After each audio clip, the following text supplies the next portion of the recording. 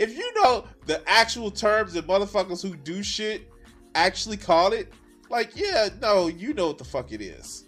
So, uh.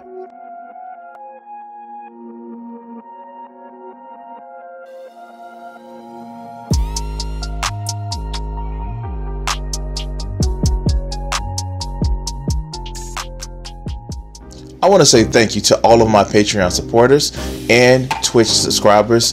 If you want to help out the channel, support me on Patreon at Crimson60620 and on Twitch at Crimson620. Thank you for your support and please enjoy the video.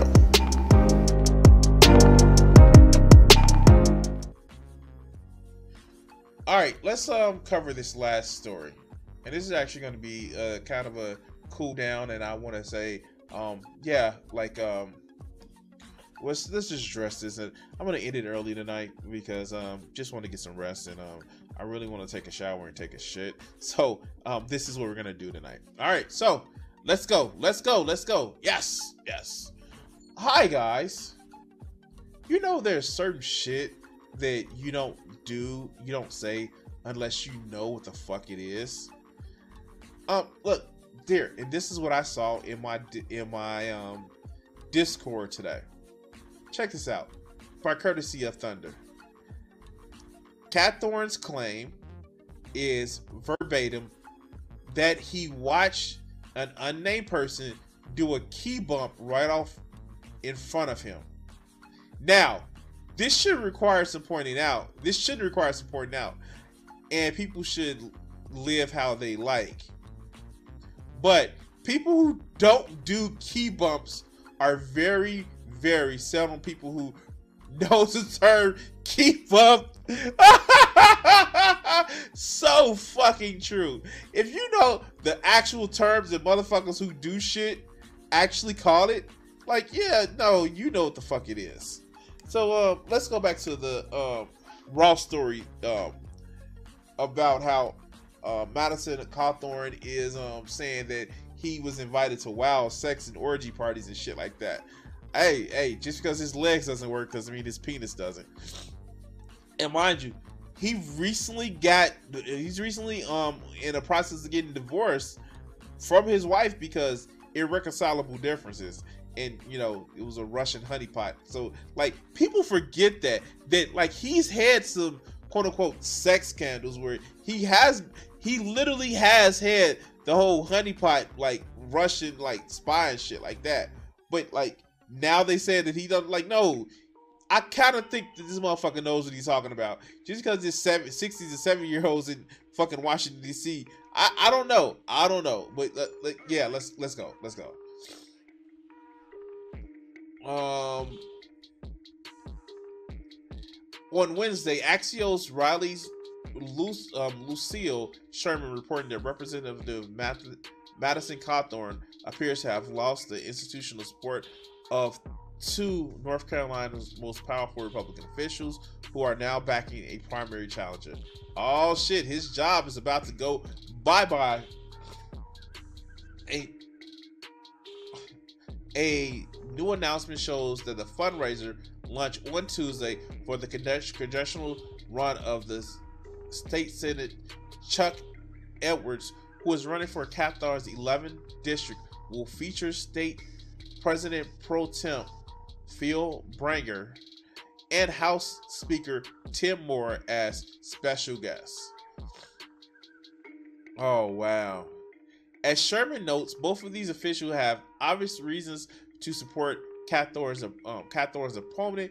Edwards is a Senate colleague of Berger. Meanwhile, Moore's candidacy for Congress was started after Cawthorn decided he was jumping over it to run in a widely in a new drawn newly drawn excuse me district where Moore, was running, even though it doesn't share much territory with his current district. Now, Cawthorn ultimately changed his mind and moved back to his current district, but not before Moore was pushed out of the race.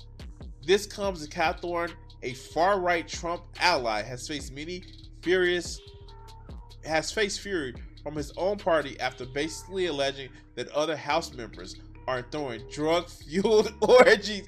Minority leader Henry uh, Kevin McCarthy privately berated him today and publicly stated that he has lost my trust. Oh, oh God. Okay, no, that's all right. Oh God, that that is fucking that is fucking amazing. That is fucking amazing. I I just can't like like it's something about this whole thing. Let's let's see if we can actually pull that shit up. Here. Um, let's see.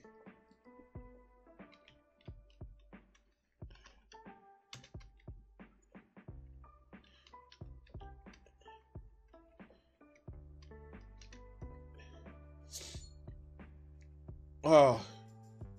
Okay. Yes, here here it is. Here's this video. And um this was actually about 3 months ago. Let's let's look at this shit. Watch Here's a hilarious story that I I am enjoying a whole bunch, but don't care that much about. But it is absolutely fascinating what it tells about all people in all parts of media. So Madison Cawthorn and his wife are getting a divorce, which is on its face hilarious that a religious person gets divorced. I love. So yeah, this is this is a story about three months ago. Listen to this shit. Love it every second of the day after they tell us how we're not religious enough and then they get divorced. But recently, a video surfaced that kind of implied that maybe Madison Cawthorn meeting his wife through this weird interaction on jumping the border from Scandinavia into Russia, also some kind of fake um, like CrossFit competition resulted in him meeting his wife and getting uh-huh. married. Maybe it was a honeypot situation, which is like Spycraft 101. Anyways, here's the video that surfaced. Take a look and we'll discuss. So me and a bunch of my friends, we went to, uh, we we got to go over to um, the over to we're very close to Russia. We got went to Sweden and Norway. Then we got on a boat and went into uh, St. Petersburg in Russia and, you know, we just decided to take $100 each and go into a casino and see how it went. And, you know, I ended up meeting uh, an American there who was a captain in the Army and who was originally from Miami. And so we hit it off. Later, I was down in Miami for work and uh, he, he texted me and said, Hey, would you like to come compete in a CrossFit competition? And so I said, I was, I, I, CrossFit, huh? Okay, let's go. Laughed and said, well, well, Todd, I'm in a wheelchair. I obviously can't do CrossFit. And he said, well, just do the pull up section. I was like, okay, sounds good. And so I show up. But, anyways, it all was a sham. It was a fake CrossFit competition. He just wanted me to put me in the same room with the, uh, the girl who is eventually going to become my fiance. And so. So, after all of that, right? Like, I wouldn't put it past Matt, Madison Cawthorn to ineloquently speak about how shit happened fucked up and not know how to fucking really say it. Like no this shit really happened. Like i know this shit really happened. But like i, I wouldn't put it past him but he said too much shit. And now people are moving to like say like fuck him. I i don't know. I don't know. Maybe it's just me. Maybe it's uh, maybe it's maybelline.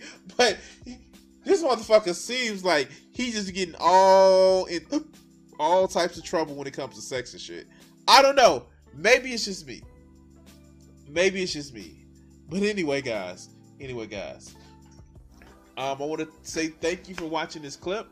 Um, we're gonna um, hopefully we don't get in trouble like Madison Cawthorn. Oh God, we're gonna cut it here. All right.